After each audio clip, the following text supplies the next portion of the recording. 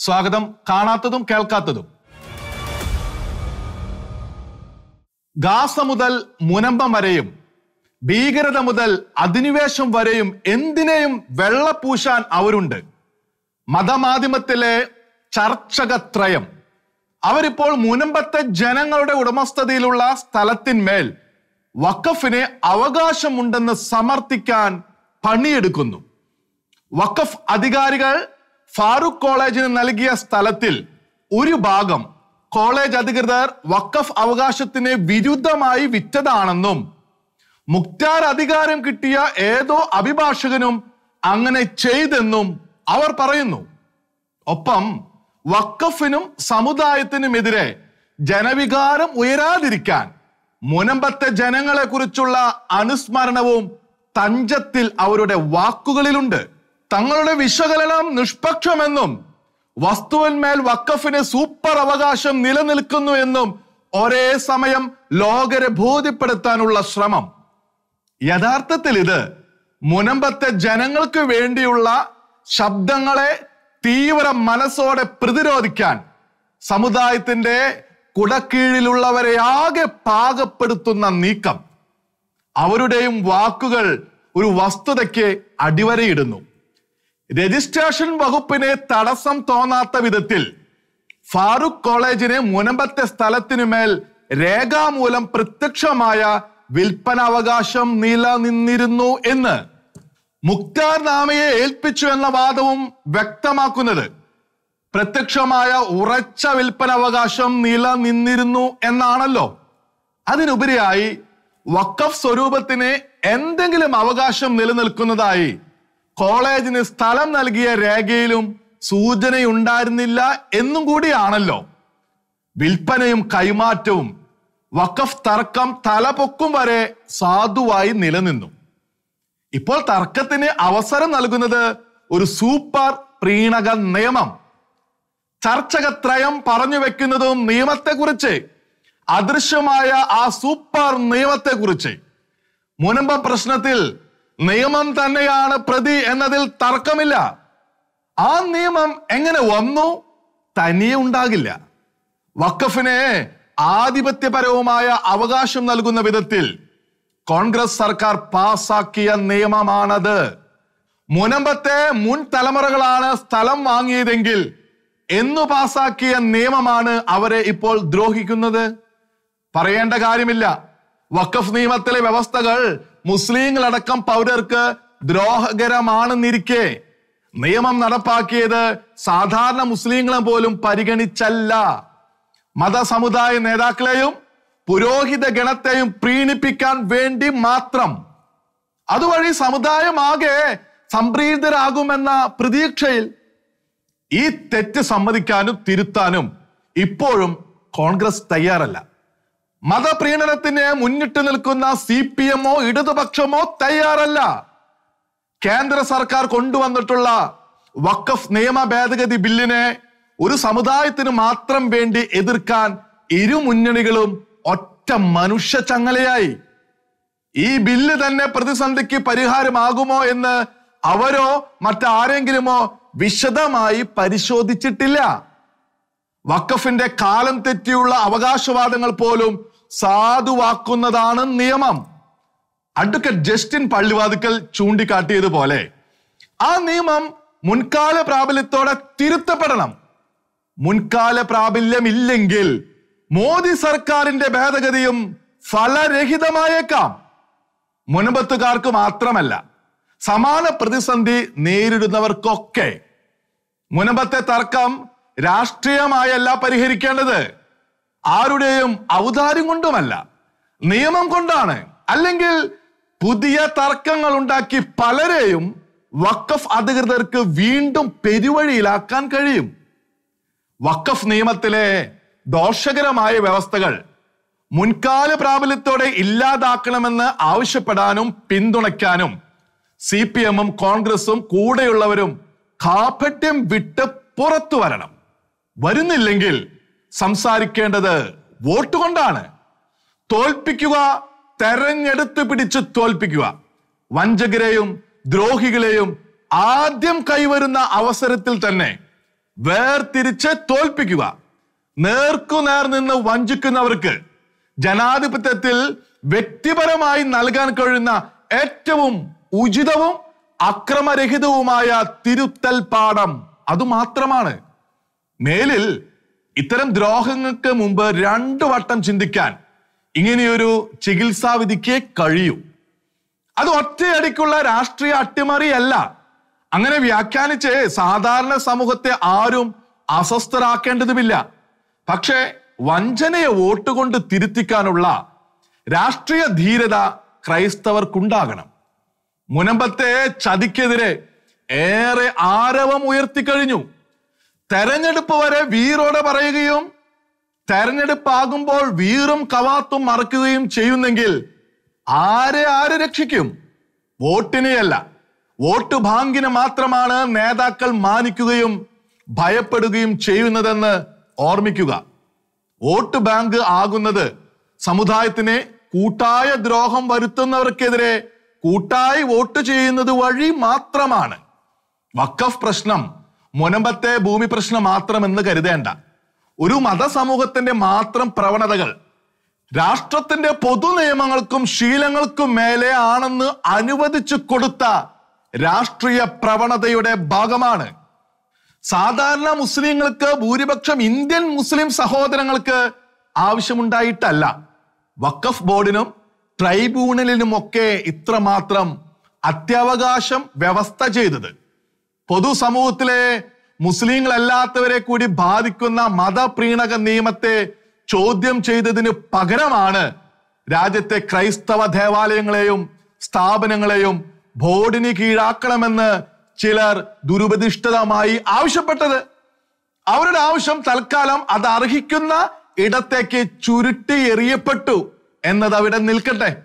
പ്രകൃതിക്ക് നിരക്കാത്ത ഒരു മതസമുദായത്തിലെ വളരെ ചുരുക്കം പേർക്ക് മാത്രം താല്പര്യമുള്ള ബഹുഭാരിത്ത പ്രവണതകളെ പോലും പ്രത്യേക അവകാശം നൽകി സംരക്ഷിക്കാനാണ് ഇന്ത്യൻ രാഷ്ട്രീയ മണ്ഡലം ഇതുവരെ കൂട്ടുനിന്നത്.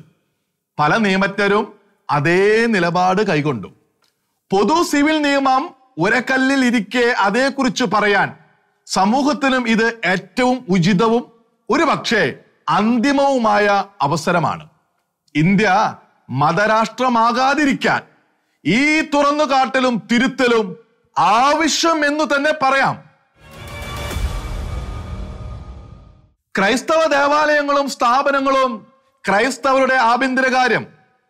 അവ പൊതു ഖജനാവിനെ ബാധിക്കുന്നവയല്ല പൊതു നിയമത്തിന് അതീതവുമല്ല. എന്നാൽ ബഹുഭാരിത്വം അങ്ങനെയൊന്നാണോ? രണ്ട് ഭാര്യമാർ ഉണ്ടായിരിക്കുന്നത് തന്നെ രാജ്യത്ത് കുറ്റകരമായിരിക്കെ. ഒരു സമൂഹത്തിലെ പുരുഷന്മാർക്ക് മാത്രം ഒരേ സമയം നാല് വിവാഹം അനുവദിച്ചു കൊടുത്ത ഇന്ത്യൻ നിയമം രാഷ്ട്രീയ കാപട്യത്തിന്റെ ഫലമല്ലേ? അത് മുസ്ലിം സമൂഹത്തെ മാത്രം ബാധിക്കുന്ന നിരുപദ്രവകരമായ കാര്യമെങ്കിൽ ഈ ചോദ്യം അനാവശ്യമെന്ന് പറയാം. അല്ലെങ്കിൽ അവകാശമില്ലാത്തതെന്ന്. എന്നാൽ അത് മുസ്ലിം സമൂഹത്തെ മാത്രം ബാധിക്കുന്നതോ നിരുപദ്രവകരമോ അല്ലെന്ന് പ്രകൃതി തന്നെ ചൂണ്ടിക്കാട്ടുമ്പോൾ അശ്ലീല ധ്വനി തെല്ലുമില്ലാതെ പറയാം അത് പ്രകൃതി വിരുദ്ധം കൂടിയാണെന്ന്. എന്ന് വെച്ചാൽ സ്ത്രീ പുരുഷ അനുപാതത്തിന്റെ സാമാന്യ പ്രകൃതിക്ക് വിരുദ്ധവും പ്രായപൂർത്തിയാകാത്ത കുട്ടികളെയും പെൺകുട്ടികളുടെ ജീവിതത്തെയും ബാധിക്കുന്നതുമാണെന്ന് പുരുഷന് മാത്രമേ നാല് വിവാഹം അനുവദിക്കുന്നുള്ളൂ എന്നതിനെ തങ്ങളുടെ സമുദായത്തിന്റെ ആഭ്യന്തര കാര്യം എന്ന് വാദിക്കുന്ന സ്ത്രീകൾ ഉണ്ടായേക്കാം. അവരോട് സമുദായത്തിലെ മറിച്ചു ചിന്തിക്കുന്ന സ്ത്രീ സമൂഹം തന്നെ സംവദിക്കട്ടെ. എങ്ങനെയാണ് ബഹുഭാരിത്വം പ്രകൃതിക്ക് നിരക്കാത്തതാകുന്നത്? ലോകത്ത് പൊതുവെ സ്ത്രീ പുരുഷ അനുപാതം ഏതാണ്ട് തുല്യമാണ്. നൂറ് പുരുഷന്മാർക്ക് നൂറ് സ്ത്രീകൾ എന്ന ഏകദേശ നിരക്ക്. എന്നാൽ കൃത്യമായ കണക്കെടുത്താൽ മിക്ക സമൂഹങ്ങളിലും നൂറ് പുരുഷന്മാർക്ക് നൂറിൽ താഴെ സ്ത്രീകൾ എന്നതാണ് തോത്. ജനാധിപത്യ ഇന്ത്യ ഇക്കാര്യത്തിൽ മുന്നിലാണ്. നൂറ് പുരുഷന്മാർക്ക് നൂറിൽ കൂടുതൽ സ്ത്രീകൾ. കേരളം അല്പം കൂടി മുമ്പിൽ നൂറ് പുരുഷന്മാർക്ക് നൂറ്റി എട്ട് സ്ത്രീകൾ. മതപരമായി രാജ്യത്ത് സ്ത്രീകളുടെ അനുപാതം പുരുഷന്മാരുടെ എണ്ണത്തെ കവിയുന്ന ഒരു സമുദായമേ ഉള്ളൂ. എന്നാണ് കഴിഞ്ഞ സെൻസസ് പ്രകാരം റിപ്പോർട്ട് ചെയ്യപ്പെട്ടത്.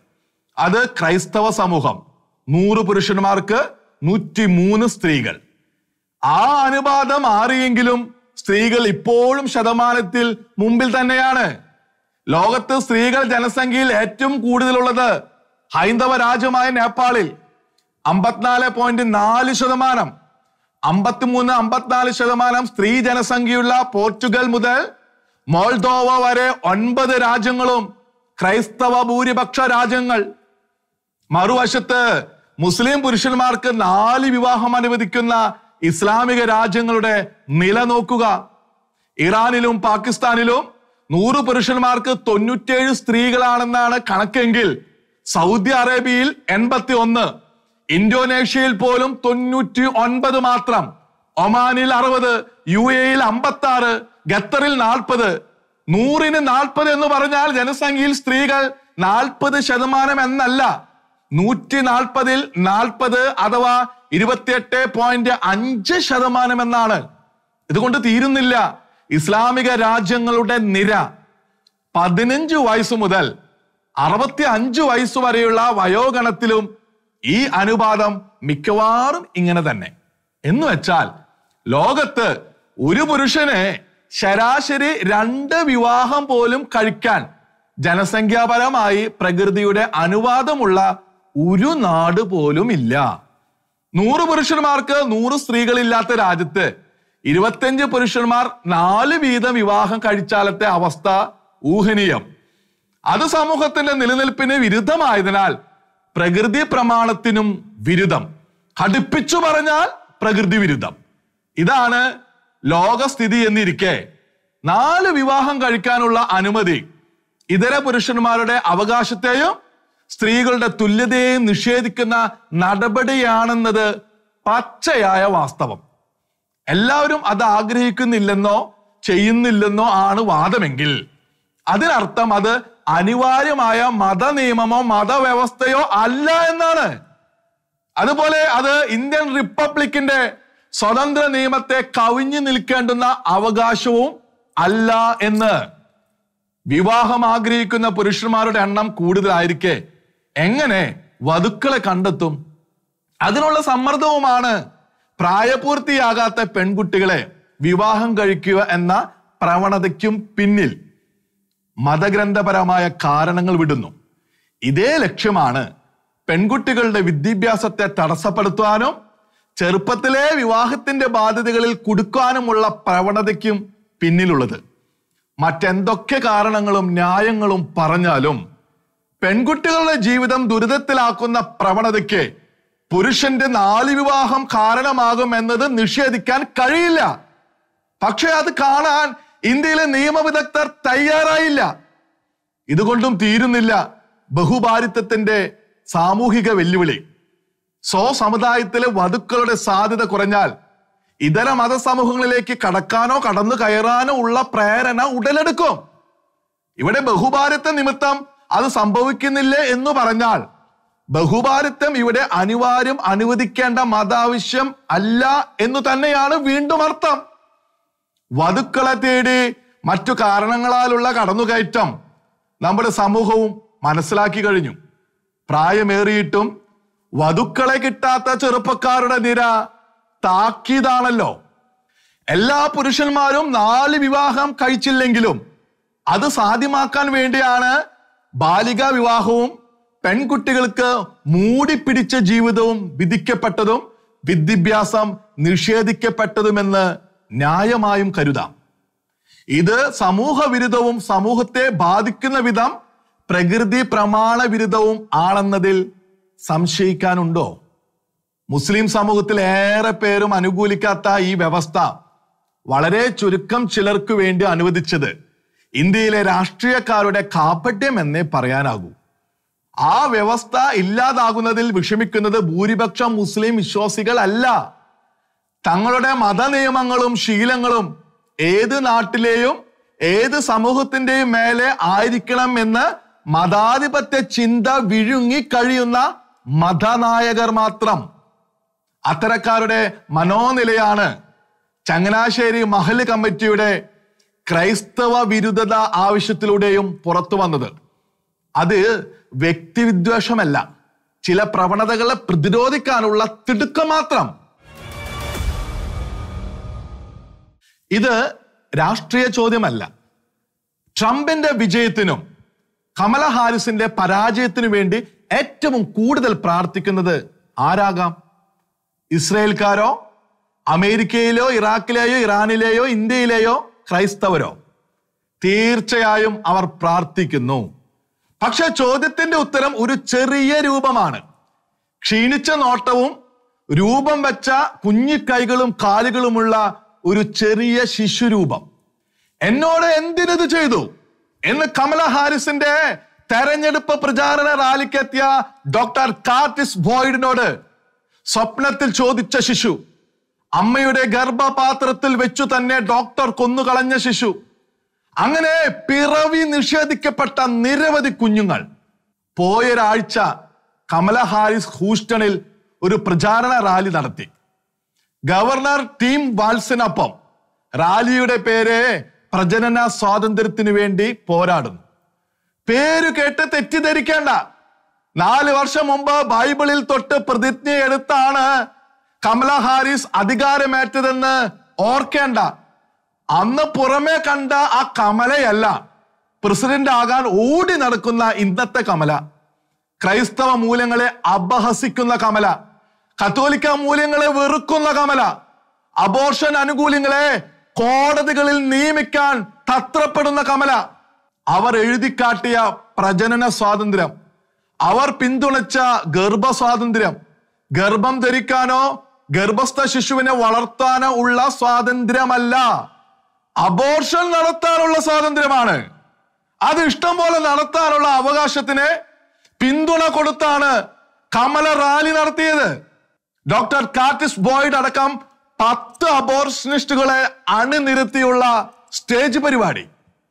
ഭ്രൂണത്തെ ശിശുവെന്ന് വിളിക്കുന്ന തങ്ങൾ ശിശുവിനെ കൊന്നുവെന്ന് സമ്മതിക്കുന്ന ഗർഭപാത്രത്തിൽ വെച്ച് അതിനെ കൊല്ലുന്നതിൽ വിഷമമില്ലെന്ന് പറയുന്ന പത്ത് അബോർഷനിസ്റ്റുകൾ അരങ്ങിൽ അവരുടെ അനുഭവ വിവരണം അവരുടെ മനസ്സിലുണ്ട്. ആ ശിശുക്കളുടെ രൂപവും ഓർമ്മയും ഗർഭപാത്രത്തിൽ സുരക്ഷിതരായി കഴിയുമ്പോൾ ഫോർസെപ്സ് ഉപയോഗിച്ച് ജീവനോടെ അവയവങ്ങൾ പറിച്ചെടുത്തും തലയോട് ഞെരിച്ചും വയർ പിളർന്നും വാക്കം ട്യൂബ് ഉപയോഗിച്ച് ഗർഭപാത്രത്തിൽ നിന്ന് ബലമായി വിടുവിച്ചെടുത്തും കൊന്നുകളഞ്ഞ ശിശുക്കളെ. രക്തത്തിൽ കുളിച്ച രൂപങ്ങളായി ഗ്ലാസ് ജാറുകളിലേക്ക് മാറ്റിയ കുഞ്ഞിരകളെ. ചെയ്യുന്ന ജോലി പ്രകാരം അബോർഷനിസ്റ്റ് എന്ന് വിളിക്കപ്പെടുന്നതിൽ അവർക്കെല്ലാം എതിർപ്പ്. അമ്മയുടെ ഗർഭപാത്ര ഭിത്തിയോട് പറ്റിച്ചേർന്ന് രക്ഷപ്പെടാൻ ശ്രമിക്കുന്ന ശിശുരൂപത്തെ ഉപകരണ ബലത്താൽ കീഴ്പ്പെടുത്തി ഇല്ലാതാക്കുന്നതിൽ തോന്നാത്ത വിഷമം അബോർഷനിസ്റ്റ് എന്ന് വിളിക്കപ്പെടുന്നതിൽ. ആ വിളി കേൾക്കുമ്പോൾ അവരുടെ ഉള്ളിൽ അറിയാതൊരു ആന്തൽ ഉയരുന്നു എന്നവർ പരോക്ഷമായി സമ്മതിക്കുന്നു. ഓരോരുത്തരും ദുസ്വപ്നങ്ങൾ കാണുന്നു. തങ്ങൾ വധിച്ച ശിശുരൂപത്തിന്റെ മുഖവും ചോദ്യം ചോദിക്കുന്ന കണ്ണുകളും. ഒരു സ്പെഷ്യലിസ്റ്റ് സർജനും തങ്ങൾ ചെയ്ത ശസ്ത്രക്രിയകളുടെ ദുസ്വപ്നം കാണുന്നില്ല. പക്ഷേ അബോർഷൻ നടത്തിയവർ കാണുന്നു. കാരണം സർജന്മാർ ചെയ്തത് ചികിത്സ. ജീവൻ രക്ഷിക്കാൻ നടത്തിയ പരിശ്രമങ്ങൾ. അബോർഷനിസ്റ്റുകൾ ചെയ്തത് കൊന്നുകളയൽ. പക്ഷേ തങ്ങൾക്കല്ലാതെ ഭൂരിപക്ഷം സാധാരണക്കാർക്കും ഇത് സ്വന്തം ശിശുവിനെ കൊന്നുകളയലാണെന്ന അറിവിലില്ലത്രേ. അറിവില്ലായ്മയായാൽ വലിയ വൈദ്യരക്ഷയും ജീവിത സുരക്ഷയും നേടിയെന്ന വിശ്വാസത്തിൽ പെൺകുട്ടികളും യുവതികളും മടങ്ങുന്നു. ഡോക്ടർമാർ എന്ന സാങ്കേതിക വിശേഷണമുള്ള അവർക്ക് മനസ്താപമില്ല. അവരെ പ്രോത്സാഹിപ്പിക്കുന്നതിൽ കമല ഹാരിസനും മനസ്താപമില്ല. പക്ഷേ ആ ശിശുക്കൾ പ്രാർത്ഥിക്കുന്നുണ്ടാകും. അമ്മയുടെ ഉദരത്തിൽ നിന്ന് പുറത്തു വന്ന് അമ്മയെ ഒന്ന് വിളിക്കാൻ അവസരമില്ലാതെ തങ്ങളെ പോലെ നിസ്സഹായരായി ഇനിയും കുഞ്ഞു ജീവനങ്ങൾ ഇല്ലാതാക്കപ്പെടരുത് എന്ന്. അവരുടെ പ്രാർത്ഥന വിജയാശംസയായി. ട്രംപിനല്ലാതെ പിന്നെ മറ്റാർക്കാണ് ഈ തെരഞ്ഞെടുപ്പിൽ ലഭിക്കുക? കാണാത്തതും കേൾക്കാത്തതും. അടുത്ത ആഴ്ച ഇതേ സമയം.